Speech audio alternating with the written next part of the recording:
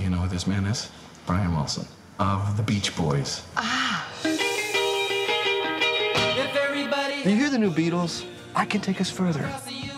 Brian Wilson has a, an enormous story. The second half of his life, in which John Cusack plays Brian Wilson, is mostly about his recovery from the breakdown that he falls into when Paul Dano plays him. Paul Dano and uh, John Cusack were brilliantly casted. It took 19 years to get this film made. When I met Bill Pohlad, he was the first guy that had a vision. It really has been a dramatic life, and we're going to do everything we can to make it factual, and I think we have. Elizabeth Banks, she's very beautiful, and she was right on playing Melinda.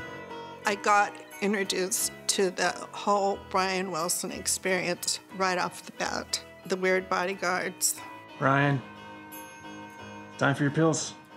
the weird doctor, If Brian calls you, asks you out for a date, well, that's fantastic. But I need you to call me directly, immediately. She helped me out of a depression and got me on the road doing concerts, making people happy. People don't realize when they meet me how strong I am. You and me, we're gonna walk out of here right now, and everything will change. Do you think that you've won, Melinda? Hmm? I'm gonna beat this, and I'm gonna beat you! I'm a strong chick. I may not always. God only knows. I never get tired of hearing that song ever. Stars above. It's just beautiful. Are you having fun? Having so much fun. I love being with you. This film is like his music. It's made for anybody that cares about love, that cares about the struggles that people go through to achieve their goals.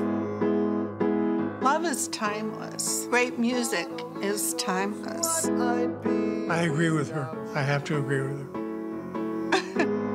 Love can conquer everything.